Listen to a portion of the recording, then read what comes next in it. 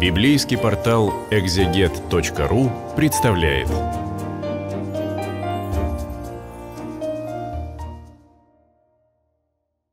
Здравствуйте, это видео для библейского портала exeget.ru. И мы обратимся сейчас к девятой главе книги Даниила.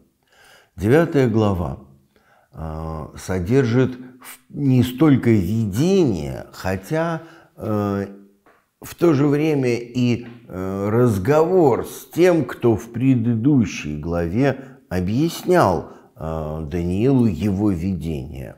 Э, текст этот как будто бы относится к, год, ко времени Дария, сына Ахашверыша, или как здесь вот в синодальном переводе Ассуирова,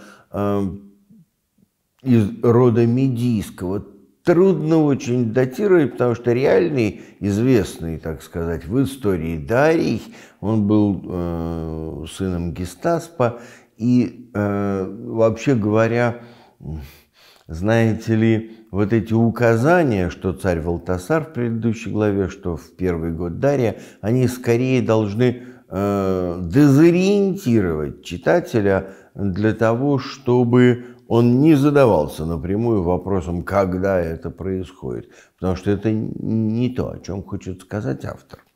А, вот в это время, а, в первый год царствования Дария, Даниил а, сообразил по книгам число лет, о котором было слово Господне к Иеремии пророку, что 70 лет исполнится над опустошением Иерусалима вот этот второй стих сам по себе э, чрезвычайно интересен.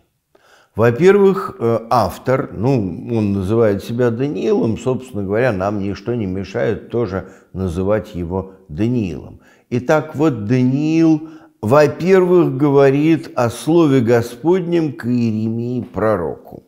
И вообще говоря, предполагается, что текст Иеремии – в это время э, автору хорошо известен. Во-первых, известен. Во-вторых, авторитетен. А, формальной канонизации, собственно, священного писания а, еще нет. Но некоторые части писания, сборники писаний – уже существуют в качестве авторитетных. В первую очередь, конечно, это Тора, которая а, включает в себя закон.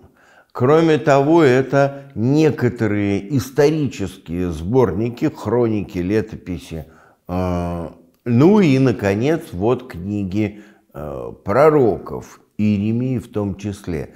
Стало быть, здесь уже э, есть текст как авторитетный источник, начинает свою жизнь историческую то, что мы называем священным писанием. Это слово Господне к Иеремии пророку обозначает э, лишь один из весьма широкого спектра текстов. Это важно, потому что Потому что писанный текст для предыдущих эпох, до там, второй половины третьего, э, да даже и, может быть, до четвертого века до Рождества Христова, не существует в качестве источника сведения о Боге, источника правды Божьей, источника воли Божьей. А вот здесь мы видим э, Даниила, который э, соображает по книгам число лет и обращается э, к тому слову, которое было к Иеремии пророку. Теперь дальше. Он рассчитывает, соображает по книгам э, число лет, пытается, сопоставив разные высказывания, Э, в тех или иных книгах э, понять, что же это за времена, о которых было слово пророку, что 70 лет исполнится над опустошением Иерусалима. Это такое символическое, конечно же, число, 70 лет, э, но в то же время реальный плен не был столь продолжительным. Реальный плен продолжался меньше, около полувека. И это бы должно, конечно, несколько обескуражить читателя. Написано-то после плена и читается после плена. И не так, чтобы очень трудно было бы выяснить и вычислить. Ну хорошо, вот 70 лет символическая цифра. Символическая цифра. Э, ну, она и осталась символической. 70 лет э, советской власти покойницы тоже, в общем, соотносят обычно именно с этим числом. Вот такое вот время испытаний, пленения, несчастья, там, символическое. Зачем бы нужен был разговор об этих временах, мы увидим, э, когда дойдем до второй половины главы. А пока с третьего стиха Э, здесь речь идет о э, молитве Даниила. Он обращается к Богу и молится. Когда соображают это самое время, это число лет. Ну, во-первых, эта молитва очень похожа на молитву Азарии в начале третьей главы очень похоже по основным своим мыслям. Больше того, совершенно невозможно исключить, что это вариации на одну и ту же тему. Ну, только молитва в третьей главе дошла до нас в глубокой литературной переработке и на греческом языке. Здесь э, это язык древнееврейский и, ну, может быть, другой извод. А, тем не менее, э, смысл, содержание вот какое. А, я молился Господу Богу моему, исповедался и сказал, «А, «Боже, великий и дивный, хранящий завет и милость любящим Тебя». Вот он называет Бога хранящим завет и хранящим милость к тем, кто любит Бога. Мы согрешили, Э, не слушали рабов твоих пророков, у тебя, Господи, правда, а у нас на лицах стыд. Вот, собственно, об этом же и в третьей главе тоже молится Азария. «Э, мы виноваты, ты прав, правдою, судом истинным все навел на нас, э, а у нас на лицах стыд. И вот это повторяется несколько раз. Это такая поэзия, где трудно сказать что-то в простоте. Ну, то есть здесь мы видим с десяток предложений, каждый из которых содержит одно и то же, один и тот же смысл. И, может быть, и можно было бы ограничиться – Э, тем, чтобы сказать это один раз. Но это поэзия, поэтому на разные лады она э, повторяет одно и то же много раз. Вот поэтому здесь про стыд, про то, что мы согрешили пред тобою, повторяется и повторяется. И, у Господа Бога нашего милосердия и прощения а мы возмутились, не слушали голоса Господа, чтобы поступать по законам Его. И весь Израиль э, приступил закон и отвратился. И он исполнил слова свои и навел великое бедствие. Но мы не умоляли Господа Бога, чтобы нам обратиться от беззаконий. Вот э, основная мысль, собственно, этой молитвы и почти весь ее объем. Но, как и в молитве Азарии в третьей главе, здесь есть «но». Здесь есть продолжение этих мыслей. Ныне,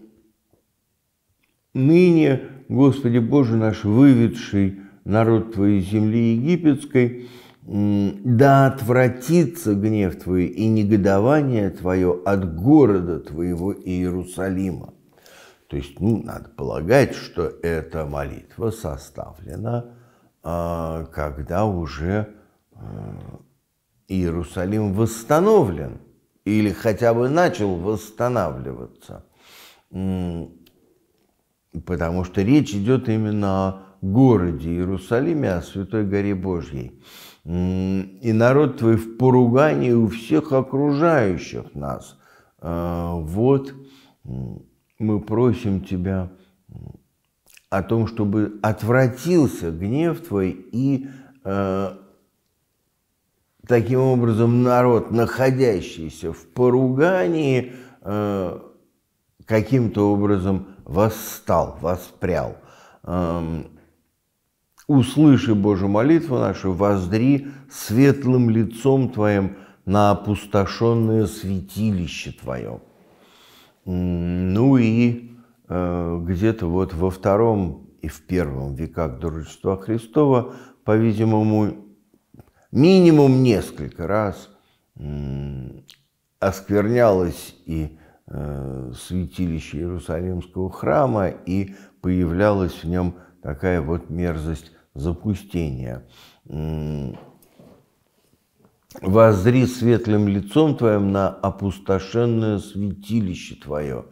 Вот э, молящийся Даниил просит помиловать народ Божий и не оставить своим присутствием э, святилище в Иерусалиме, э, потому что по-настоящему именно это важно.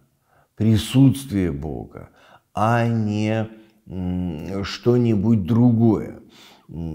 И вот мы повергаем моление наше пред Тобою, уповая не на праведность нашу, но на Твое великое милосердие. Вот тоже еще одна ключевая идея. Мы просим у Бога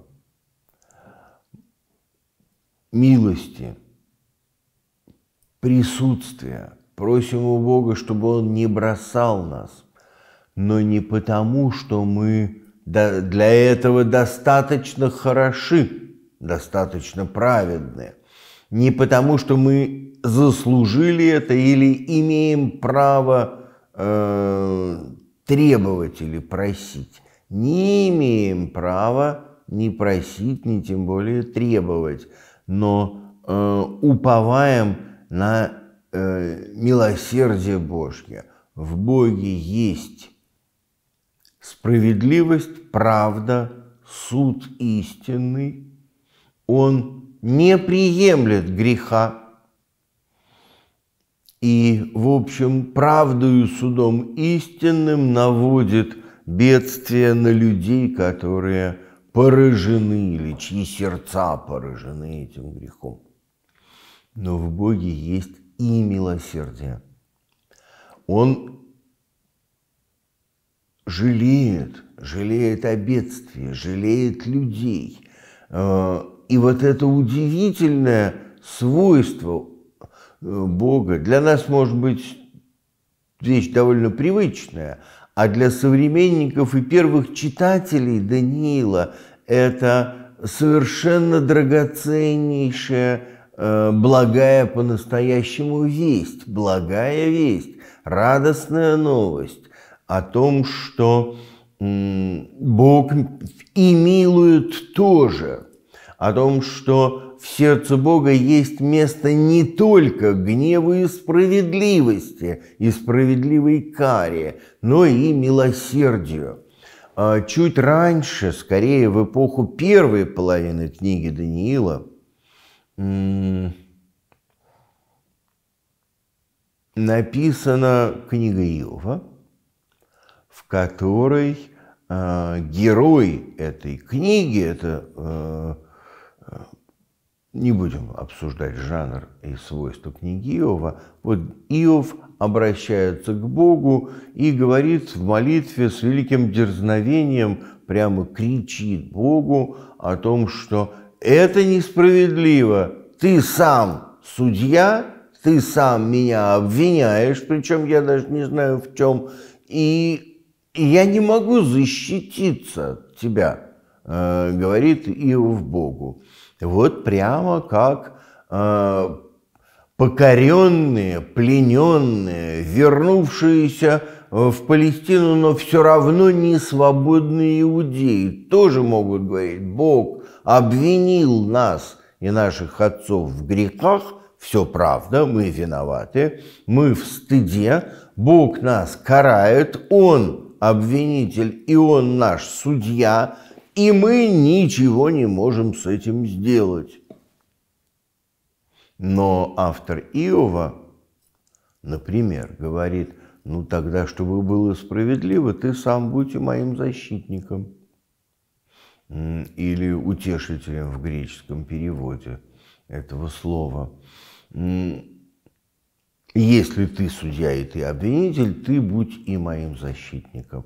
Здесь у Даниила мы видим тоже разговор о том, что э, для того, чтобы действительно полнота божества э, присутствовала в нашей жизни, недостаточно праведного судьи и обвинителя. Э, недостаточно того, что ты гневаешься на наши грехи и не оставляешь их незамеченными, безнаказанными, но ты и источник милосердия. Но, ты, но мы уповаем на Твое великое милосердие. Услыши, Господи, и не замедли ради Тебя самого, Боже мой. Потому что имя Твое наречено на этом городе, на этом народе.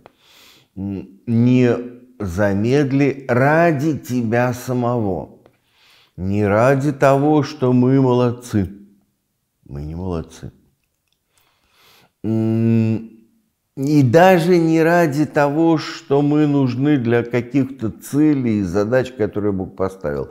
Ради тебя самого. Вот э, мы просим тебя о милосердии, потому что такова твоя природа. Тебе это милосердие свойственно. И это очень важная вещь в условиях гонений, в условиях угнетения, как иудеи в державе Селевкидов и в последующих державах тоже, очень важно услышать э, весть о том, что э, милосердию есть место в сердце Бога. Услышать о том, что эта милость э, по-настоящему то, о чем надо просить. И вот когда еще э, Даниил говорит и молится, исповедует грехи мои и грехи народа моего. Вот еще в продолжении этой молитвы муж э, Гавриил, которого он видел в прежнем видении, прилетел, э, вразумлял и говорил – в начале моления твоего вышло слово, я пришел возвестить его тебе. То есть, как только ты начал молиться, вышел ответ, и я пришел тебе его возвестить. Между прочим, очень важно,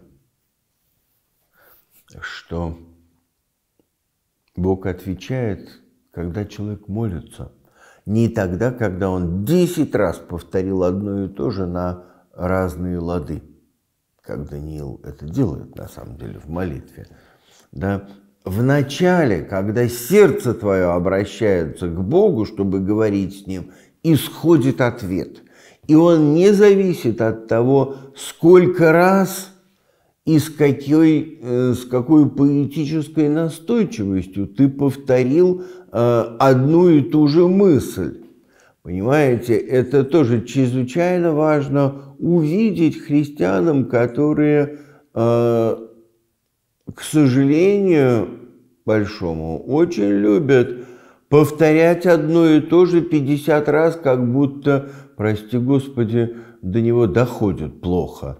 А, Бог не страдает ни отсутствием слуха, ни задержкой развития. Не надо ему 55 раз повторять одно и то же. Хотя мы, еще раз повторю, это очень любим. А, большей частью для того, чтобы самим себе казаться хорошо помолившимися.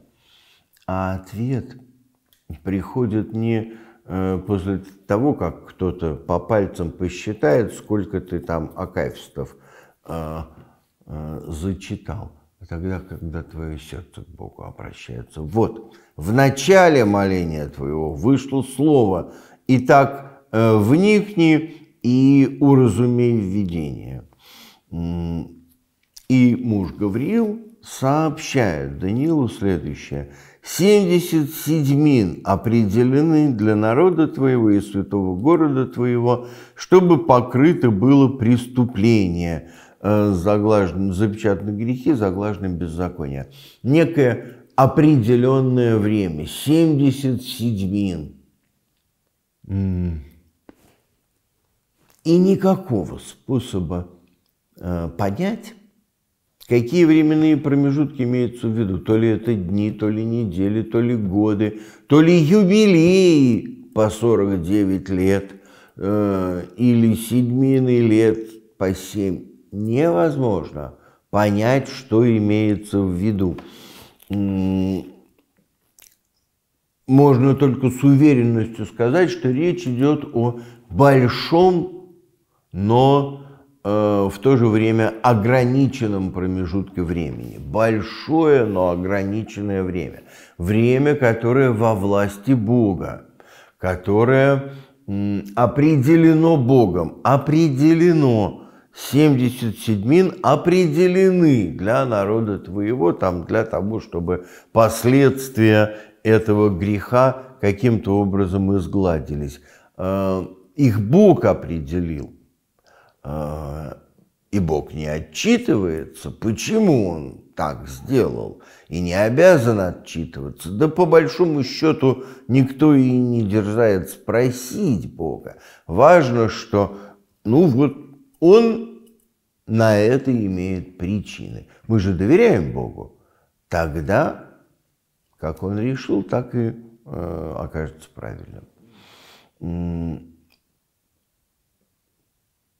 речь идет действительно о продолжительном сроке, в течение которого э, покрыто преступление, запечатаны грехи, заглажены беззакония, и чтобы приведена была правда вечная, и запечатаны видение и пророк, и помазан был святый святых.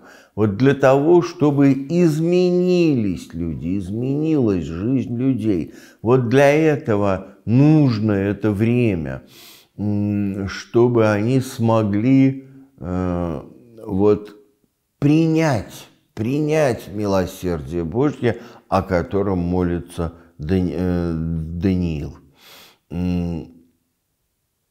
Ну и вот в конце 24 стиха говорится, вот время это нужно, чтобы беззакония были заглажены, правда э, а при, приведена была, и помазан святый святых. Ну и здесь, конечно же, возникает некоторая э, неясность, если не вовсе двусмысленность. Потому что помазание священным елеем использовалось в разных обстоятельствах. А, в первую очередь для помазания первосвященников. При, перво, при поставлении первосвященников вот используется помазание возлияния елея на главу, а, которое становится знаком благодати Э, действующий теперь через этого первосвященника. Точно так же и приблизительно в том же смысле при помазании царей на царство. иногда возлияние Елея и в каких-то иных случаях, там на пророков или на каких-то деятелей, но главным образом, конечно, вот первосвященники и цари. Но не только. Здесь мы видим э, о некоем святом святых, наиболее святом, ну так, такой способ сформулировать превосходную степень, о э, ком-то, кто будет величайшей святыней, принадлежащей Богу, и кто будет помазан как царь и э, первосвященник, или как царь, или как первосвященник, или и так, и э, так. Здесь вот в тексте э, книги Даниила э, появляется сам, само это слово «помазание» и некий помазанник святой святых. Помазанник по-гречески Христос. На э, языке, на котором Даниил пишет, Машиах, Мессия. Итак, речь идет о том, кто помазывается э, в Израиле через то время, которое определяет Бог. Стало быть, своим современникам и читателям Даниил говорит э, буквально следующее. Вот мы давайте с вами молиться вот так, просить прощения, исповедовать праведность Бога, уповать на милость и э, Бог определил время, когда Он на эту нашу с вами молитву откликнется, и этим откликом будет помазание святого святых, будет э, пришествие некоего святого, который станет таким ответом Бога на нашу просьбу о милости. Зная, разумей, с того времени, как выйдет Э, повеление о восстановлении Иерусалима до помазанного владыки семь седьмин э, и 62 э, седьмины. Почему не сказать 69, а надо говорить 7 и 62. Вот, ну, непостижимо. Может быть, Даниил что-то имеет в виду.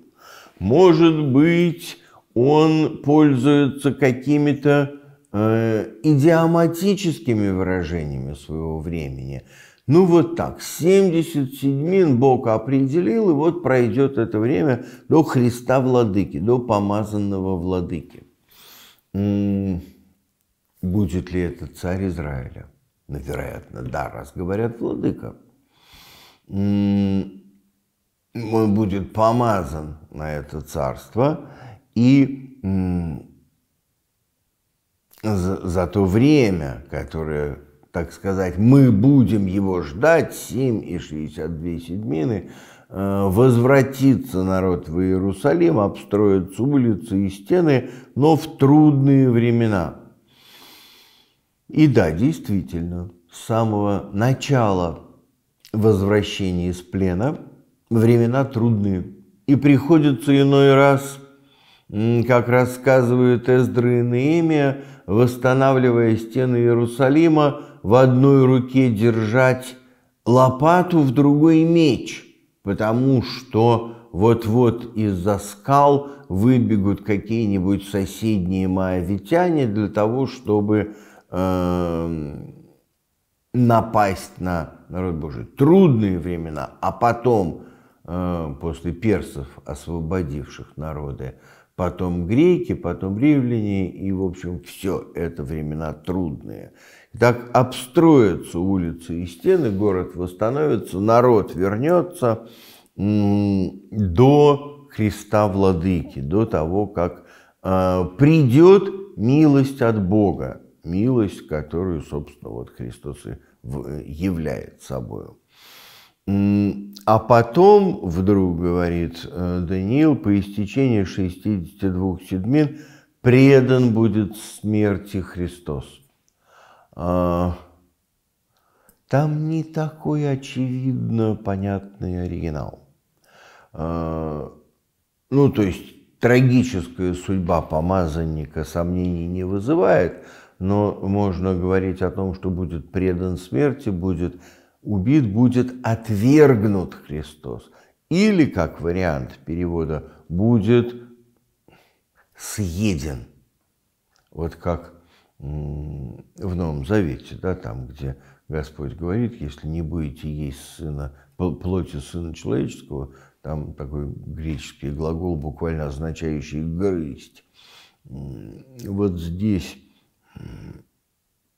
тоже уместен перевод этим самым глаголом «предан будет смерти Христос», поглощен, а, отвергнут. Даниил говорит о том, что никакого триумфа не предполагается. Не предполагается, что в качестве милости Божьей и награды будет явлен святой святых, помазан на царство, и все станет хорошо. Он говорит о том, что нет, мы его отвергнем. Он будет отвергнут, он будет предан смерти, а, а город и святилище разрушены будут народом вождя. Он говорит это своим современникам, чтобы они э, знали об этом, что они могут сделать с этим, непонятно. Это не пророчество, это другой жанр. Пророк в подобном контексте сказал бы, но вы исполняете закон, там, обратите внимание вот на это, в зависимости от того, э, на что Бог через пророка обращает внимание, и отвратится бедствие. Но вы примите правду Божью, и отвратится бедствие. Или там не отвратится, но вы все равно примите, чтобы стоять перед Богом в правде. Как-нибудь так. Здесь речи об этом вообще не идет. Даниил говорит о том, что Таковы в сущности судьбы Божьи. Так будет происходить. А, Бог помилует нас. И эта милость в том, что Он даст э, помазанника, святого святых, но он будет предан смерти, он погибнет. И после этого наступит время, когда э, завет для многих будет утвержден, а на крыле святилища будет мерзость запустения, будет, будут идолы, будет поклонение э, чему-то совершенно постороннему. Одни говорят, что речь идет об Антиохии Епифане, который осквернил храм и устроил там капище. Другие говорят о каких-нибудь идолах, которые римские полководцы, там, начиная с Помпеи и дальше, вносили в Иерусалимский храм или просто сами входили в него. Но вот эта мерзость запустения на святом месте, собственно, это технический термин, который означает идолопоклонство, который означает почитание, поклонение, ну и изображение заодно э, в храме Божьем чего-то совершенно не имеющего отношения к делу. Э, ну, там, понимаете, какого-нибудь молоха кровожадного нарисовать на стене святилища, вот это и будет мерзостью запустения. И поклоняться ему, и ну, в общем, в наше время каждый может сам э, понять, что же имеется в виду под этой мерзостью запустения. Даниил и его первые читатели, очевидно, имели в виду вот э, всех этих идолов, которые вносили туда э, языческие цари э, из э, державы Селевкидов. Или, может быть, римские тоже вожди и полководцы. Ну, по большому счету, таким образом, самое главное в седьмой главе, э, в девятой главе, простите, самое главное для нас – это то, что милость Божья, оказывается, не сработает сама собою автоматически и не даст то царство вечное, о котором говорил автор первой половины книги Даниила, потому что мы отвергнем э, Христа, мы предадим Его смерти. Вот царство Его не будет конца, говорит автор первой половины книги. Автор второй половины книги говорит, нет, это не так все. Потому что все то, что мы называем царствами в этом мире, это все козлы и бараны, которые тут сражаются. А э, мы Христа отвергнем, как-то не получится так, как мы надеемся. Но утвердит завет для многих одна седмина – и э, там время, когда прекратится жертва э, и приношение, и до конца войны будут опустошения. Вот что-то за этим последует другое, не такое, как э, можно было бы ожидать. И этот завет, который Бог утверждает, он э, явным образом отличается от того, что ожидают люди, отличаются от того, что мы э, хотим видеть под заветом с Домом Израилевым, что-то другое. Здесь не говорится о Новом Завете, хотя понятно, что имеется в виду именно это. Это трудный, неочевидный тоже вопрос – Э, на которые еще здесь э, нет ответа, что же это будет э, за завет в последние времена.